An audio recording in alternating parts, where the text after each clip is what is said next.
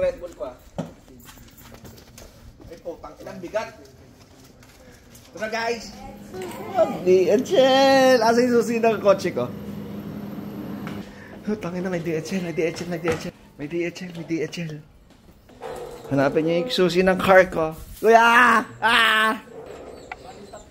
Yung tatlo, tatlong parcel. Yeah! Ah! Ah! FC Moto, FC Moto. Tagal ko dito yan.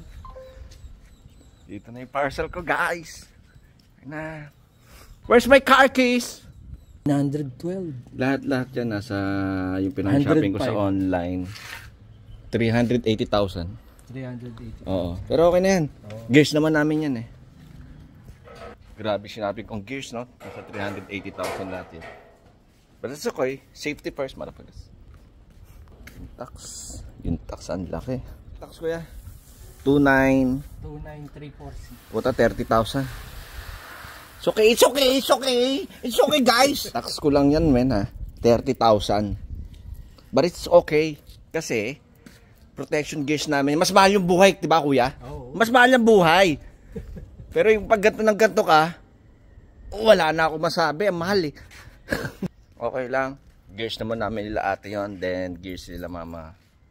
So safety first, di ba? Mahal, pero safety. Kung mahal mo yung buhay mo, mahalin mo. May cup noodles naman eh. Utang, yun na shit. Para sa ano ko to, sa kotse ko, sa 869. para hindi na ako mag ano, sa bump, ano to, ayun yun. Sa bumper. Oo, yung plate, plate to. Yung plate to na specifically for the Dodge. Diyan yan.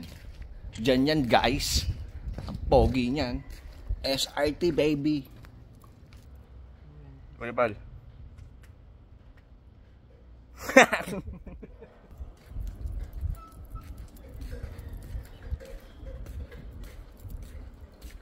Bawa naman mga motor na to.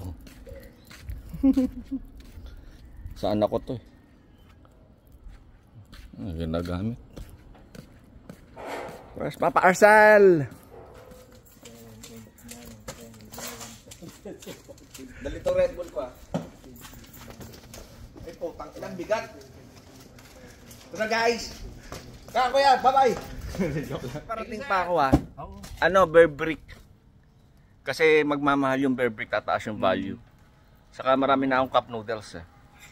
Ay, wait.